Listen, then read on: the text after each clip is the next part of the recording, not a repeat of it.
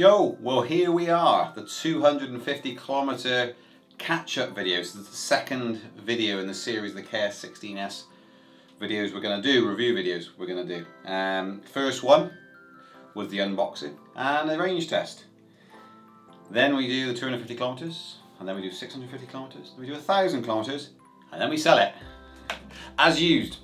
Um, so, how's it been performing is the question. This will be a short video. It has been performing really, really well. So there's zero issues so far with this machine.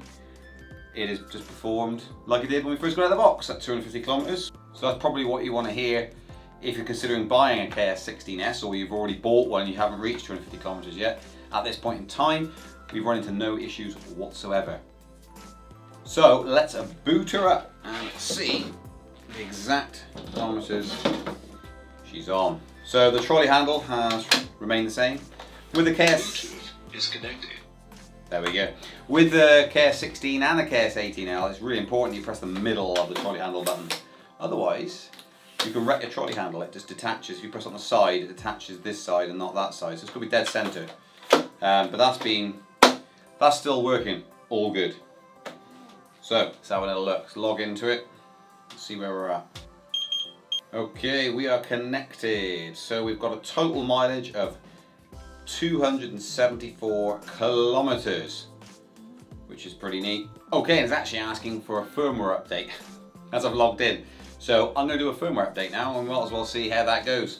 See if it works well, see if it doesn't work well. So I'm on V1.05, new firmware version V1.08. So just downloading the update.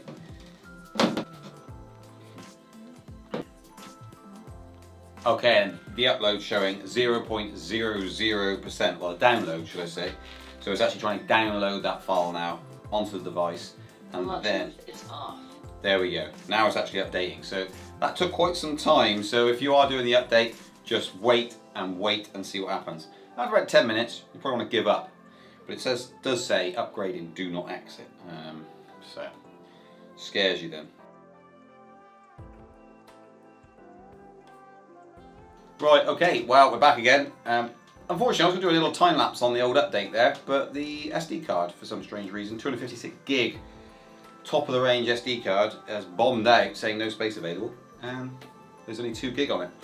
So we worked that one out some of the time, so the update's been done, connected automatically, which doesn't always do, so the app isn't great. Um, it could do with an update, a refresh, make it look a bit smarter, like the InMotion or the Segway one, Ninebot could do with that happening really, to liven it up a little bit. It does look very, very dated now. The battery readout is a bit all over the place, very similar to Gotway. Doesn't always auto connect, things like that. It's, it's just a bit trippy. Um, but 274 kilometers got reading on there. The remainder mileage is never accurate on this app. It reads too high. So yeah, little things like that.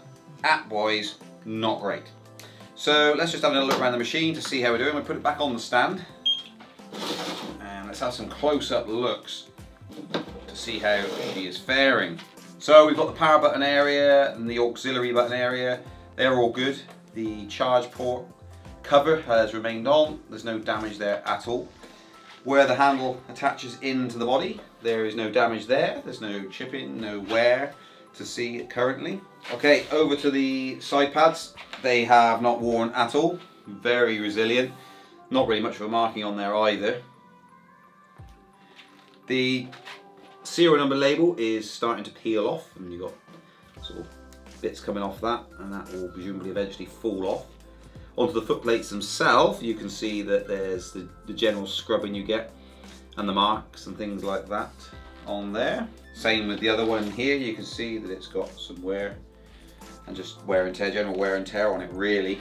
Um, the back part here, just from being lent against things and just general wear and tear again, is actually scuffed up some of the the matte finish and that is basically for being put in the back of the car behind the car seat and things like that where it's been travelling along just rubs against the carpet it's actually worn that down so you might want to get a cover or put it in a cover if you want to keep this neat and tidy for long periods of time you're transporting it tires worn really really well so no issues there whatsoever that's all good all clean, not much mud catches up on the inside of it. So that's really, really good. The front light lens, the, the plastic that covers that is getting some scratches on it. You can actually see that they're wearing and it's the same with the front end. It's actually worn away the matte finish, revealing a gloss underneath. So the matte finish is it looks really, really nice, but if you don't protect it, you just put it at the back of your car, you're gonna get these rub marks on it. The foot plates, there's not really much wear on those at all. Um, we've got these side pads here that's getting really, really dusty, but one thing that has happened, and we don't know how this is, we've lost one of the side pads, actually unstuck itself and disappeared, weirdly. Uh, so we're missing that, so that needs to be kind of uh, repurchased and put back on. So it'll probably do with being a bit of a firmer fix, that one, to be fair. So that concludes, really, the overview of what happens after 250 kilometres, and it is all well and good. No issues to report apart from what we've just gone over, the wear, general wear and tear, which we're going to get as we go further on through. So you'll see this take shape and change through the miles we go through. So the next video will be done at 650 kilometres. And we report back to you then and see how it's holding up, see if all the trolley handle, all the power ports, all the buttons, they all work and the lights work and everything. And so far, absolutely spot on, no issues to report whatsoever. Cheers guys, please like, subscribe and share if you can.